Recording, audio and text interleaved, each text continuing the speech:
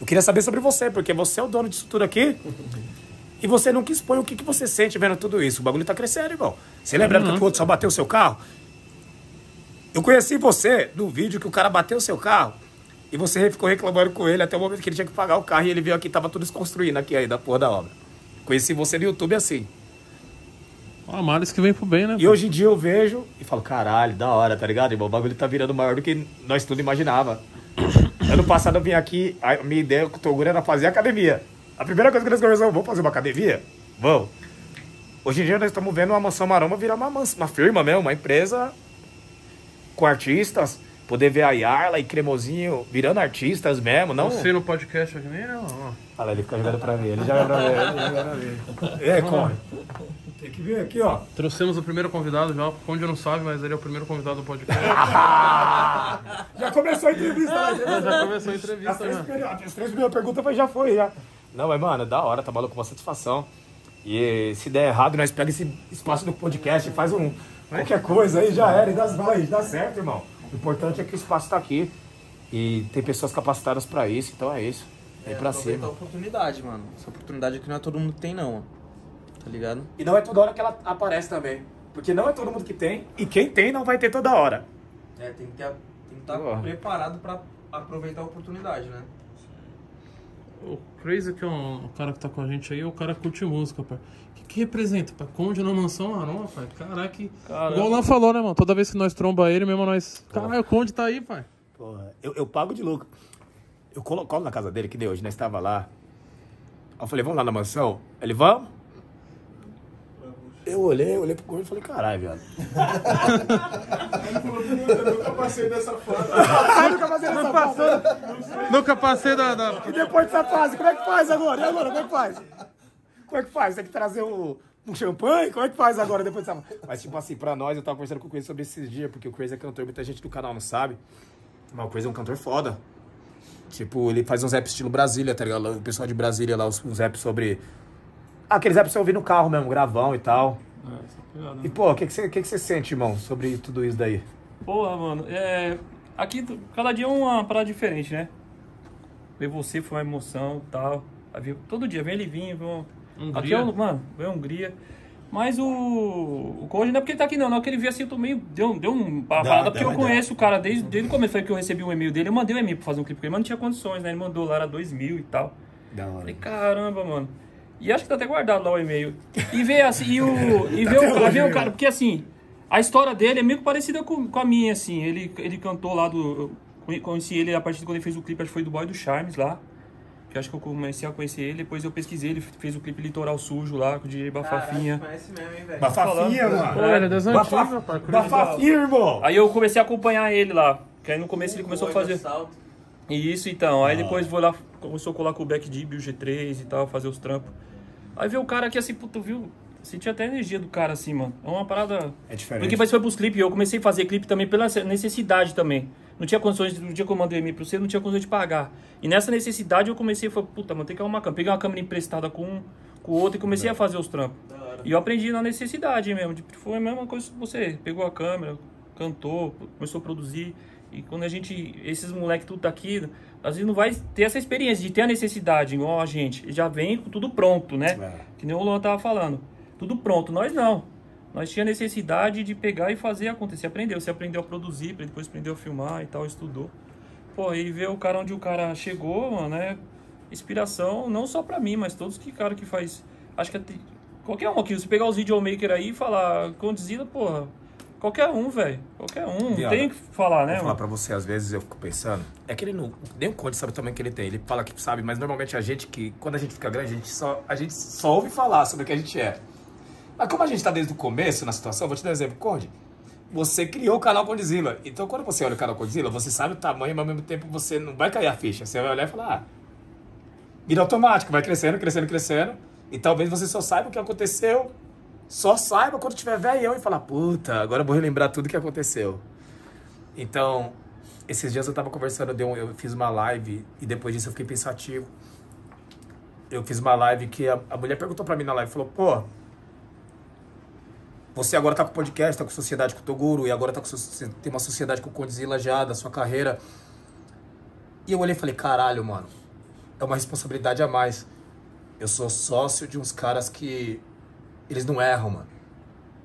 E eu tô falando pra você que não erra como pessoa, eu tô falando artisticamente. Tá ligado, pai? Eu confio muito no trabalho do Toguro e confio muito no trabalho do Conrad. E vice-versa. E quando eu, eu posso ver a molecada vendo os caras e. Eu não sei como é que eles se sentem, o que, que eles pensam quando vê um Condzilla da vida sentado aqui. Porque a minha visão que eu tenho é, porra, viado. Quando eu olho e falo, caralho, viado.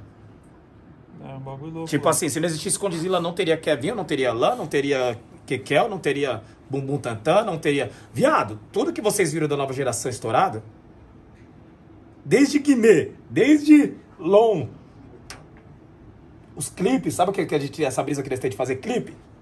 Bater um milhão num clipe? Tem que bater um milhão num dia. Começou tudo aqui, mano. Então, se a gente, se eu e o Toguro viu coisa, imagina o que esse cara viu. É que eu tava trocando ideia com os moleques hoje. Tipo assim, eu perguntei pra eles aqui, quem é- conhece o DJ Malboro? Ah, Dois só levantou a mão. Pô, Caralho. duas pessoas conhecem o DJ Malboro e você tá cantando um ritmo que... eu- A que do trouxe, cara que, que trouxe trouxe. É uma coisa de falar com o Dila. Por isso que eu falei, eu conheço a história do cara. Porque eu tô vivendo a parada.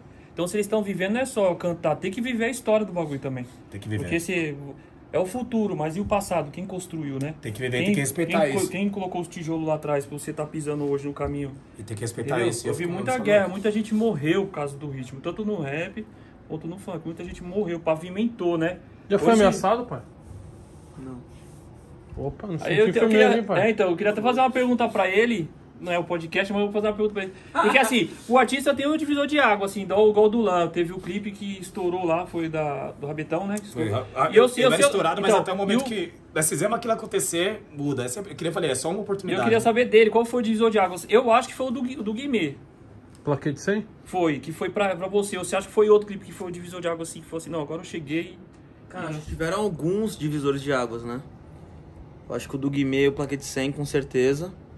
Primeiro, acho que o do Boy do Charmes, Megane. Megane, Megane é foda. Depois o Guimê, mim qual 100. foi? Falando aqui como um Depois público. Carol com K, Tombei. Você tá esquecendo de uma coisa importante pra mim como público. O primeiro estourado foi o Guimê. Como é bom ser vida louca. Rodolfinho. Rodolfinho. Quando, eu- quando eu via o Condzilla nas placas.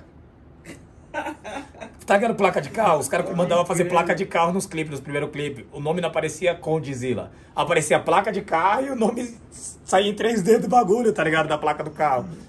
Viado, aquele bagulho até hoje eu lembro como. Tipo, ele, Samuque Negro, tá bombando. Muita gente não lembra do Samuque Negro. Nossa, mano. Mas foram coisas que quando, perto, mano. quando pegou na Mateus. quebrada. São Mateus, né? Quando pegou na quebrada, irmão, bagulho. Foi no Imperador, não Acho foi? que mudou uma da história. Imperador é quebrada do... Eu falo pra você como público, pra mim eu acho que mudou a história, porque eu não era, por exemplo, eu falo pros caras de, de coração, eu não era. Eu nunca tive o sonho de ser MC. Mas depois que eu vi o trabalho que tava sendo feito na Condizila dos MCs, falei, puta, mano, é isso que eu quero. Tá ligado? Porque eu tô sentindo. Na época o Ruzica tinha acabado de gravar um clipe também, todos esses caras aí, você lembra dessa época muito bem, bem, bem melhor do que eu, você lembra muito bem. Então, irmão, vou falar pra você, eu acho que o divisor de águas de verdade da Condizila, falando de coração, coração. Porra, eu acho que tá entre Rodolfinho. Eu não sei se eu vou estar errado, mas tá entre Rodolfinho e Bumbum Tantan. Eu falo pra você Bumbum Tantan por quê? Porque todos os clipes estavam em parelho de, de acesso. Quando o primeiro clipe, eu acho que foi o primeiro clipe do Brasil que realmente foi pro mundo inteiro. O bagulho quando foi ver já tava. Quando eu vi os caras do exército de Israel dançando, os caras do exército de Ra- de Israel na guerra, dançando Bumbum Tantan. Aí eu falei, não, peraí, o bagulho já tá começando a virar algo a mais do que, que era pra virar. Já tá virando algo, né? já não tava preparado, preparado pra isso. Então, eu acho que ele vai, ele vai falar os clipes que ele gosta, tá ligado? Normalmente. Mas eu, eu tô falando pra vocês os clipes que eu, que eu Não, sinto não, que... nem, nem, nem os que gostam, não. Os que eu Você acho- acha que o mudou. você acha que o Bumbum Tantan deu uma... Sem dúvida. Olha a explosão. Carol com K, Tombei, Racionais, um Preto Zica. Preto Zica. Caras com K mesmo do Big Brother? É, Quantos anos atrás? Acho que foi 2015. Viado, ano passado eu acaba com o e o Zilo, eu tava nos Estados Unidos junto. Miami. Miami. Nós íamos juntos junto. Fazer o quê? Ué, É, nós tava, no, nós tava no evento da Budweiser, na verdade. Tava o Diplo, tava a Era Carol o com final K. da NFL, Super Bowl. Assistimos o show do Guns N' Roses junto. Ficamos com sono no meio do show, fomos embora no meio do show. Viado, quando eu conto umas histórias estranhas pra vocês, é real. Vocês acham que é louca? Les Twins, os dançarinos da Beyoncé. Os dançarinos da Beyoncé muito, muito doido aqui atrás, no busão aqui. Os caras falaram, o pessoal do Black Eyed Peas tá aí. Não, imagina aqui, eu tô procurando o Conde aqui, ó. Vou te dar um exemplo aqui pra vocês aqui, ó. Esse cara aqui é foda, viado. Você tá procurando aqui pessoas aqui. Eu tô, mano, tem que procurar alguém na balada. Eu tô numa festinha aqui, não tem ninguém pra trocar ideia e tal. Não conheço ninguém. Do nada tá o Condizila.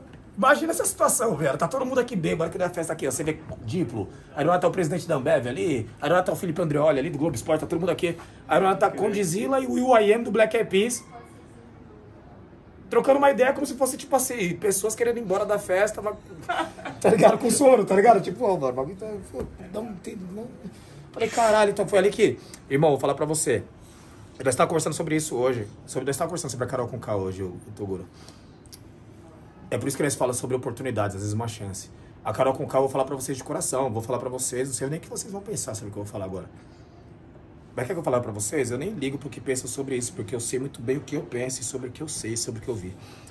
A Carol com não é uma pessoa ruim, não. É uma pessoa boa, de coração. Eu não sei o que, que aconteceu no BBB, não sei se foi o personagem, não sei realmente, não sei o que rolou, mas a pessoa que eu conheci, eu acho que a pessoa que o Conrad conheceu, não era aquilo que a gente viu ali. Talvez alguma coisa. Talvez pegaram pra Cristo também. E vem tudo isso, toda a situação. Às vezes uma pessoa. Talvez se fosse outra pessoa não teria tido toda essa repercussão. Se é que vocês me entendem onde eu quero chegar. Mas tipo assim. é, e ela segura uma bronca pesada por ser mulher, por ser preta, tá ligado? Por ser uma mulher empoderada, ela, ela segura uma, uma barra pesada. Isso, tanto a responsabilidade é.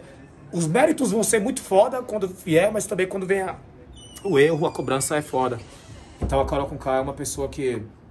Eu acho ela uma pessoa de coração bom, tá ligado, mano? Tipo assim, foi uma pessoa que me tratou super bem lá em Miami. Tratou a Lana, o Conde também super bem lá em Miami, até risada demais. Então, fala pra vocês, às vezes uma, um erro, tá ligado, Toguro? Às vezes, quantas palavras? Às vezes uma palavra que a gente fala na internet, uma palavra que a gente fala já muda tudo. Todo mundo já acha que a gente é um monstro, já acha que você fez uma merda. Às vezes, quantas vezes, não sei se você é casado ou não, mas às vezes você falou uma coisa a mais pra sua mulher que não era pra ter falado, você fala, puta, o que, que eu fiz? E acabou com a história do, do relacionamento. Então a, a mídia é assim. Às vezes falou uma coisa que não era pra ser falada naquele momento e puta, erro, né? acabou com tudo. Então, vou falar pra vocês, do mesmo jeito que eu peço até pro público fazer, e do mesmo jeito que eu peço pros artistas, tenham resiliência também. Às vezes o erro que a Carol Conká cometeu, a gente tá su- sujeito a cometer toda, a todo momento na vida. Só que a gente não, sabe, não tá sendo filmado. A gente comete todo dia erros parecidos, mas ninguém filma. Essa é a diferença. Se a- já parou pra pensar se tudo isso que nós estamos vivendo no mundo tivesse sido filmado? Viado, todo mundo aqui estaria cancelado, velho. Certeza. Então, tipo assim, é, vamos parar um pouco de julgar as pessoas e vamos começar. Beleza, quer julgar as coisas ruins? Vamos jogar as coisas boas também. Coloca na mesma lista. Coisas boas, coisas ruins. A gente vai tirando e vamos ver o que, que sobra. Certeza que vai sobrar mais coisas boas da Carol com K. Então é uma pessoa que eu tenho carinho. Acho.